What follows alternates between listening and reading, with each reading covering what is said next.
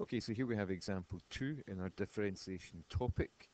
We are looking at differentiation from first principles. We're looking at how to find the derivative of a function, not by using our little shortcut rule, but actually by working it out algebraically. And for that, we have been using this formula f dash x, f prime x is equal to the limit as h tends to 0 of this fraction, we've got f of x plus h minus f of x all over h. So remember this isn't some mystical formula, this is the simplified version of the gradient formula for any function.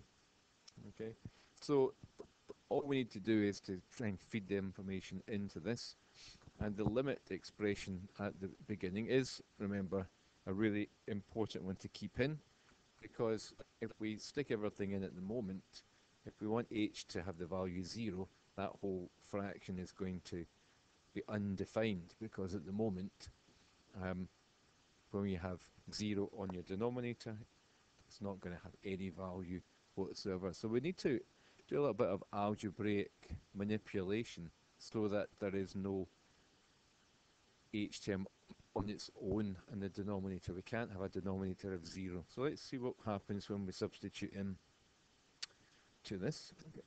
So we are saying that the derivative is the limit as h tends to 0 of f of x plus h. Now this is a slightly trickier one than the one in example 1 but the advice that I tend to give uh, for any function, especially more complex ones, is write out the function that you're given, f of x, where x appears, put a bracket instead of the x, like that, and inside the bracket you're going to put x plus h, because instead of our input value being x, it's this extra value x plus h. So all we need to do is do that. And that gives us our function f of x plus h. We're subtracting from that the original function f of x, and because there's two terms in it, we've got an addition of terms, we need to remember to put that in a bracket, because they're both being subtracted. And this is still all over H, it's a cracker. Okay, so here we go. Uh, it looks a wee bit complex, but we can start to simplify it, first of all, by multiplying or squaring out that bracket, x plus h squared, and if I do that, I get x squared plus 2 hx plus h squared.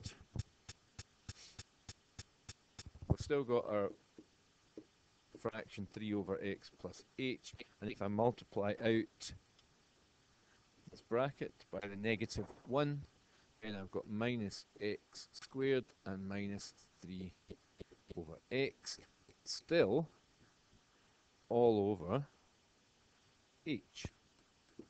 Which of course is still no good to me because if I set the value of h as 0, that whole fraction is still going to be undefined. The whole value is undefined. So we need to find ways to simplify it, but it looks a wee bit complex. Fortunately, we've got one wee thing we can do. We can simplify it by uh, putting together or removing the x squared terms. One is positive, one is negative, so they cancel out. And then I'm going to do something, an interesting technique. I'm going to split the whole function up into two groups.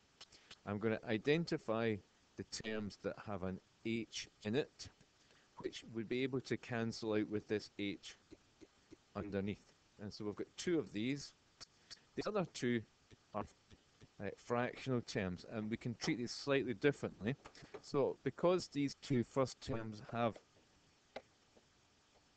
an h term, in other words, h is a common factor of them, I'm not going to do it just yet, but I'm going to choose these two to be in this fraction here. And I'm going to actually make a new uh, limit function here uh, with the other ones. Now, they've still got an, we're dividing by h, uh, but because there's already a fraction here, 3 over x plus h minus 3 over x, so there's not another fraction in that, I'm actually going to write the, instead of dividing by h, multiplying by 1 over h, which is the kind of same thing. Okay, so I've split that up, and that's the reason why we're going to you're going to see now that there's a common factor of h. This first fraction is actually quite straightforward now. We've got a common factor of h in the numerator.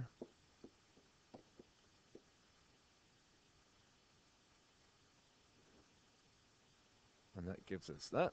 h brackets 2x plus h all over h. You can see those h terms, common factors, are going to cancel out, but we'll deal with that in a minute. And on the right hand side, unfortunately we're not quite there yet, because what I want to do is, to, rather than looking at these two fractions um, separately, I'm going to add them together. I need to find something to cancel out with this 1 over h, because that 1 over h as a value doesn't exist. 1 over 0, I want to think about that as 1 over 0, and we can't. So we need to find a way of getting rid of it, cancelling it out, or multiplying it through. And so what we do is we have a look at this fraction in the brackets. We're going to make a combined fraction with a denominator of x times x plus h. Okay? And because I've multiplied those two fractions together, then the quick method of finding the numerator says we're going to do x times 3 is 3x minus x plus h times 3 is 3 times x plus h. You do it whatever other way. If you have a different way of doing it, that's fine. But that's one quick way of working out our subtraction of fractions. So, next line, we're nearly there. Uh, remember, we're trying to work out the derivative. It's kind of lost up on top of the screen. Now, this is where we can start simplifying.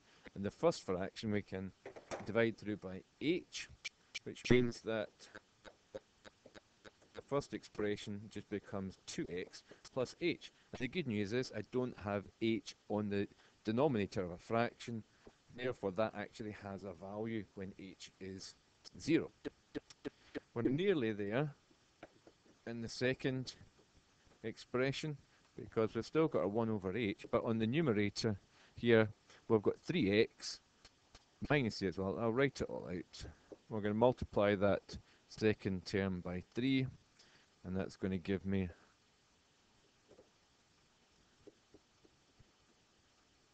that.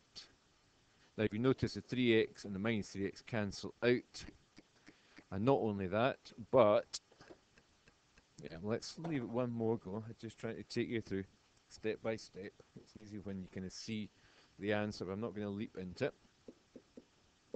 Going to keep writing out. So I've got 2x plus h plus the limit as h tends to 0 of 1 over h times negative 3h over, I'm going to square that, I'm just going to multiply that out because we're going to need to do that anyway, I'll show you why.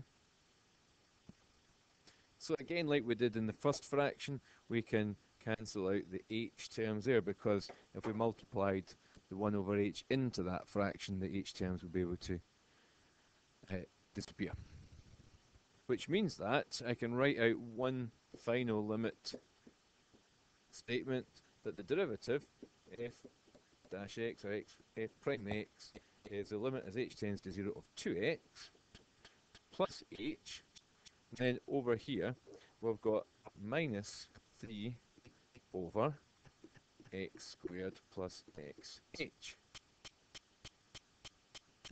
Again, we now don't have an h term alone on the denominator. We have an h in the denominator, but now what we're going to do is we are going to drop this limit expression here. So the whole point, see this thing here? That's saying we are preparing ourselves to let h equal 0. We're, we're trying to get our our expression to a point where we can drop 0 in instead of h, substitute in 0 instead of h. And now we can do that. And if we do that, if h goes to 0 here, and h goes to 0 and substitute in, you notice that what we're left with is we've got our 2x. We don't have that term, next term here. And this fraction here the denominator just becomes x squared because x times 0 is 0, that second value is 0. So we're left with negative 3 over x squared. So the derivative is 2x minus 3 over x squared. That is the answer that we get by differentiation from first principles. You may already have thought, well, is that uh, what I would have got anyway? So the original function, if we remind ourselves, was f of x equals x squared uh, plus 3 over x, otherwise known as x squared plus 3 multiplied by x to the power negative 1. And if I were to di differentiate that using my shortcut rules of multiplying by the power and reducing the power by 1, I would have x squared would go to 2x. And the second term, negative 1 times 3 is negative 3x.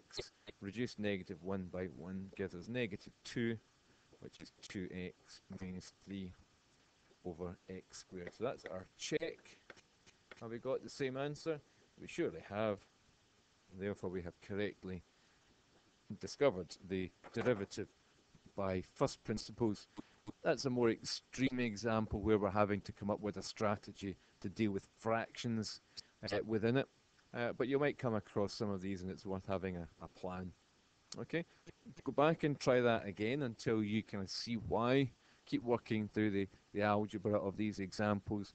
Try some of your own and there's one other example, three, with uh, a trig function to see how you get on with these. Okay, good luck.